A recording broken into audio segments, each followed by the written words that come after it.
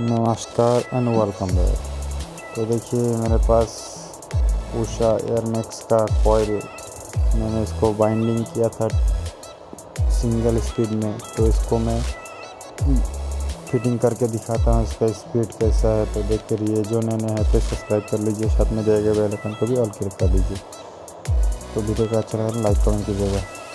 तो मैं इसका कॉयल पहले ही बाइंडिंग करके रखा था, पूरा जल गया था इसका। कोयल उषा एयर मिक्स है तो इसको मैं चला के दिखाऊँगा। ये सब कनेक्शन है इसका। देखिए कनेक्शन इसको मैं प्लेट लगा के भी दिखाऊँगा। तो देखते रहिए लास्ट तक। जो नए नए हैं प्लीज़ सब्सक्राइब कर लीजिए। साथ में दिए गए बेल आइकन को भी ऑल क्लिक कर लीजिएगा। वीडियो को जितना हो सके शेयर कीजिए।